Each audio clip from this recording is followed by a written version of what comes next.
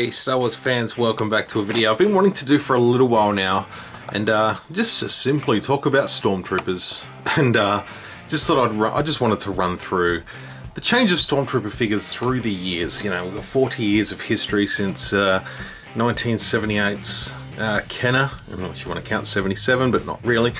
1978 uh, is the year they hit and uh, we're going to start there. So we're going to start with the old Kenner Stormtrooper. Now this one is uh, this one has a date on it of 1977. So yeah, technically I guess it was made um, back in 1977.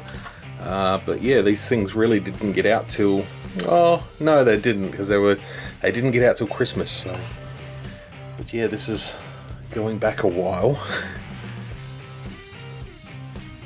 yeah, there's uh, definitely stood the test of time. People are definitely still clambering to try and get a hold of as many of these as they can, trying to army build their uh, vintage Kenner collections, which is really really cool. I'm happy we have have one. Um, I did get the the retro collection one. Um, which I don't have here because it's basically the same thing. Slight, slight difference in sculpt, but uh, yeah, thought we'd uh, just sort of go through one by one and uh, just talk about Stormtroopers for a little bit. So yeah, nothing really changed um, with the Stormtroopers. They did a Luke in Stormtrooper disguise in the Power of the Force line uh, in 1985. 1984, 1985 um, in which case did have a removable helmet. But yeah, there's no articulation on these. They're all sort of sculpted part of the same thing, um, all part of the torso there. So yeah, no movement on these. So there is that one. Now fast forward to 1995 with the resurgence of Star Wars collectibles, and uh, we had the Power of the Force 2, as it's now dubbed. And we got these sort of He-Man-ish figures. Um, and if you do if you haven't seen on my channel, every Friday I do Power of the Force Fridays in which I highlight a figure from the 90s because um, that's my vintage, that's when I grew up. I grew up with these big chunky boys. So yeah, this really started opening up the doors for more troopers. We got a sand trooper finally, and uh, we got a couple of variations of Luke and Han in stormtrooper disguise. Uh, the first time they did a Han Solo in Stormtrooper disguise, disguise they never did one in the vintage days. Um, and he was a Kellogg's exclusive, I believe, if uh, memory serves me correctly. Luke was available on a single card, and then there was a multi-pack that had uh, Chewbacca in in handcuffs with Han and Luke in Stormtrooper disguise, bringing him into the detention detention block. And that was kind of to celebrate the uh, pending special editions, but also it was a little subline called Cinema Scene, so that was pretty cool. So yeah, this guy goes back to 1995, and that's uh, those are the years that pretty much kicked it off for me. Pretty much 1994, 1995 when the toys came in. Now we're going to skip forward a few years because uh, I don't have every Stormtrooper that was released. Okay, I'm, I'm just going to preface by saying that there were a few released over the years, such as Power of the Jedi, um, and even the 2002 Saga line. There was some Stormtroopers throughout that. Um, but this one, we're going to let's have a look at this date. 2005. So this one did last a few years. As you can see, this one was actually a sand trooper, I think, just with the, uh, the yellowing. Did have a pauldron at some point. Um, I've had this in my collection. I bought it in a bought it in a lot at some point in the past. But uh, this sculpt sort of served a purpose for for a few years afterwards, and uh, it was a it was a worthy figure for the time. Uh, probably doesn't hold up by today's standards. It's alright for a scene filler. You'd put him in the background. No one really cares. um, when they're in the background of your scenes, your display shelves.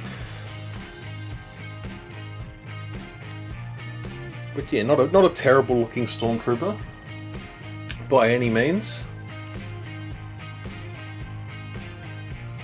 I like this one a lot. still holds up. I wish I, I wish it was a clean version. I don't have any of the clean versions of this exact sculpt, but they were used in numerous types. We're going to look at the next one now. now. This one is the Space Trooper. So again, looking at 2005 mold. This one was released, I think, in the Legacy Collection in 2008. Which is, he had a removable helmet, was uh, technically released as Space Trooper from A New Hope. You see a couple of these guys as the Falcons keep being pulled into the uh, Death Star. See a couple of these guys sort of standing outside. Just have a little bit of Blu Tack there to sort of just hold that on. So again, sort of cool. You could, uh, you know, switch out that head if you didn't have a Han or Luke, which they did do later in the Legacy Collection. They did release those two figures with this sculpt. Um, I think the Luke was slightly retooled just so he could be a bit shorter. Um, again, they're figures I never had. But uh, yeah, nice cool mold, that one. Space Trooper, we haven't seen seen one of those since. And now this one was reused again for the Force Unleashed. So the Shadow Trooper.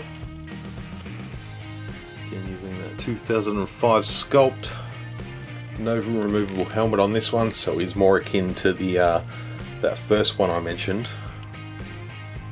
So there's that one, that is the Shadow Stormtrooper, and this is where things start changing up a little bit with the, uh, the coming of the Vintage Collection in 2010, in which case Sand Trooper was part of a very early uh, lineup for that for that uh, figure range and uh, later spawned a couple of re-releases um, as Stormtroopers in a three-pack, uh, vintage style sort of three-pack, in which you know it's not totally accurate. It's a little bit different to a, what a Stormtrooper should be. Um, you know, this the Sand Trooper helmet is uh, very much a different sculpt to to that, and you can sort of see the way it's sort of perched up on the peg there on the head that it is missing the pauldron, and the uh, insert there for the uh, backpack the Sand Trooper has.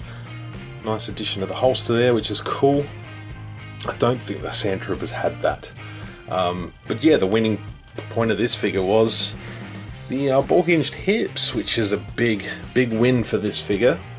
Um, but yeah, of course, you need the Sand Troopers to have the ball hinged hips so they can ride the dewbacks, which is reasonably cool. So there was another Stormtrooper released in the Vintage Collection um, using this same similar body. I think it was similar. I don't think it was exactly the same, but it did have the ball hinged hips, better looking helmet. Um, but yeah, still, still not 100% perfect. That one did have some issues with uh, yellowing of the helmet, as did some of the other clones and stuff early on in the Vintage Collection. Um, but they don't seem to have those issues now, which is which is great. Um, I'm not seeing any personally, so fingers crossed that continues, hey? So, coming in 2015, we. No, I'm going to actually jump back a little bit. 2014 is when we first saw the Black Series Stormtrooper come into play. And this one held up pretty well for a long time um, recently, recently within the last year or two, has had an update, and I'll show you that very, very shortly. Um, but yeah, this one held up quite nicely. Really nice helmet sculpt. I think it still, it still holds up really nicely. I think it looks quite good.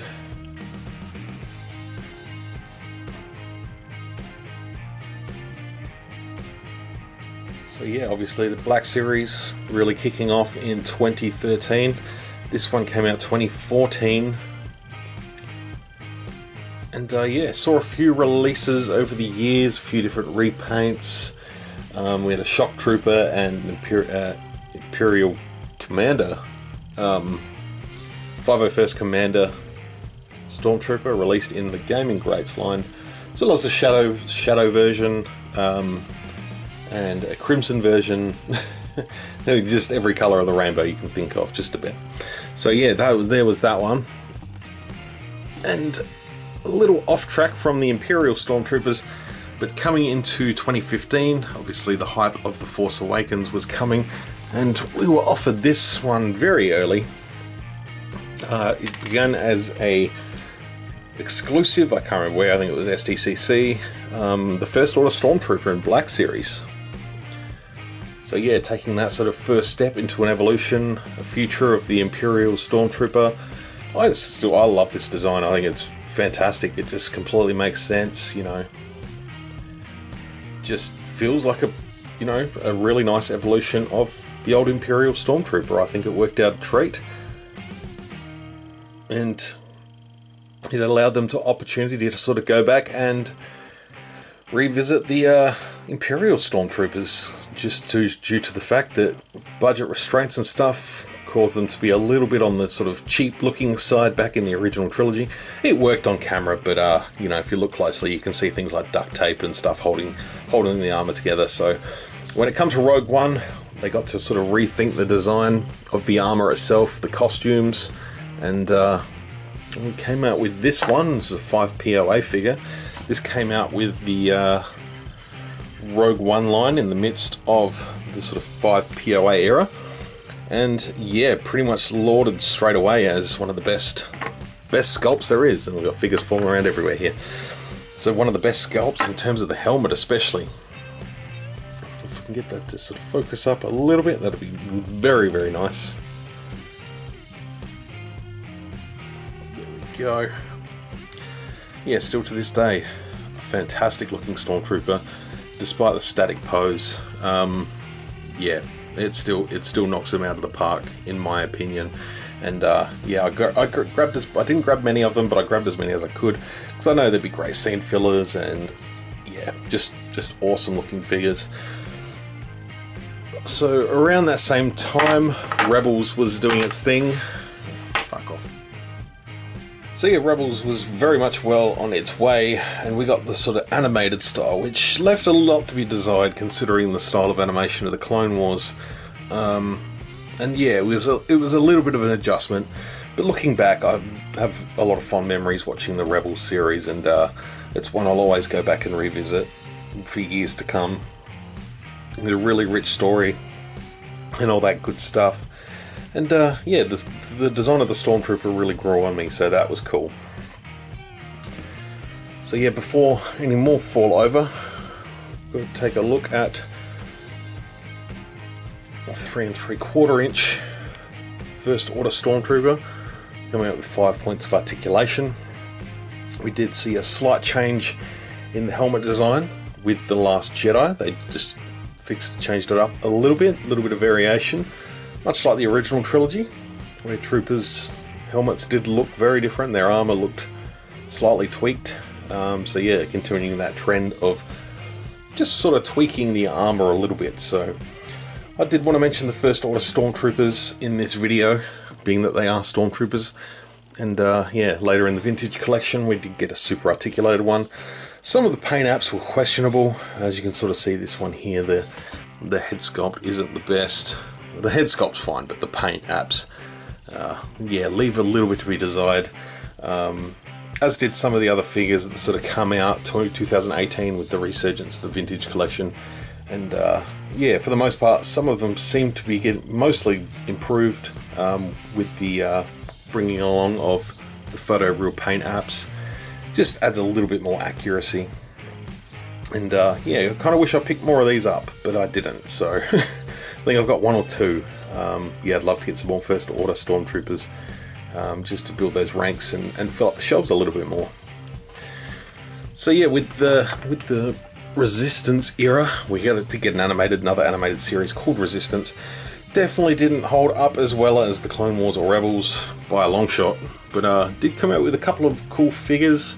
Um, there weren't many. There were maybe uh, maybe a dozen figures that came out in the line and were quickly uh, disbanded, unfortunately, because we really didn't get all the characters. And uh, I, to this day, still haven't seen the second season, but uh, I actually like the animation style of these stormtroopers. Probably a little bit better than the, the Rebels ones, if I'm honest. I don't know. I just like the armour. There's something about them I think it's cool. Yeah, definitely crossed over to figure form really nicely. But uh, yeah, I, I, I dig that a lot. I think it looks, I think it looks kind of cool. Just a nice, different design. And then we get to the vintage collection as well. And uh, yeah, here I have in my hands is basically the Stormtrooper to end all Stormtroopers. This is where we've got to, guys. 2000 and let's see what year this was technically done. Doesn't have a date, but I think it was 2019 or early 2020 when Vintage Collection introduced a Rogue One Stormtrooper. And yeah, using a similar similar mold to the 5POA one I showed earlier, but uh, yeah, super articulated and super awesome. No holsters on this one, which is probably the only downside, but not a bad, not a problem at all, because some of them do hinder movement. And if you really wanted to, you could cut the holster off of an old one and stick it on this one. But uh, yeah, in, in my opinion, this is the creme de la creme of 3.75 inch Stormtroopers. So uh, yeah, given 40 odd years, this is where we've come. We also do have a couple of versions of these, Luke and Han in disguise. The Luke one is ever so slightly different, but uh, yeah, here is the 6 inch version as well, which yeah, very much so one of the best figures in the Black Series line in my opinion. Um, I wish they'd just keep releasing them so, you know, people that want to army build can army build. And uh, yeah, really add troops to the ranks. I think it's a no-brainer to keep putting Stormtroopers out, whether you put it on a Rogue One card or not. Same with the Stormtrooper here, I think, you know, you could safely just repack and repack and repack and people would buy, buy, buy. So I think it'd be I think it'd be wrong to not reuse the mold as much as possible. We did have a couple of um, troopers from the Mandalorian, an artillery trooper and a incinerator trooper as well, using this same mold uh, with a few extra retooled parts um, to distinguish them from from this one. Also did get a remnant stormtrooper, which is just a dirty version of this one. Looks a little bit like that guy. but yeah, these two are, you know, this is where we've got to from sort of 2018 uh, sorry, 2019-20 onward. 2020, I think this one came out, the Black Series, and uh, yeah, we've certainly got, in my opinion, the perfect Stormtrooper now. I think they're both fantastic, and uh, yeah, that brings to the end of the video. So I'd love to hear your thoughts. I know there's a lot of Stormtroopers I missed in the middle there, but I just wanted to talk through the ones that I have, and uh, yeah, just a little bit of background and and stuff on each of them. So I hope you've enjoyed it enjoyed putting this video together. I've been looking forward to doing this one for a while. So as you may have been able to tell, my video cut out at the last minute. So just finishing up on the phone here, and uh, yeah, we'll get this video out as soon as possible. So yeah, really, really happy to have this video done. I've been excited about doing this for a long time. Love to hear your thoughts and comments down below don't follow my channel already, please hit the subscribe button and throw give the video a thumbs up. Really helps out the channel. Also check out my members um, tiers on the front page of my channel. I'm always looking joining for a very very small fee per month, and uh, yeah, got a great crew of members following, supporting and following me here on the channel. So thank you all. Um, you saw at the start of the video, and uh, yeah, thank you very much for watching. Until my next video. May the force be with you always.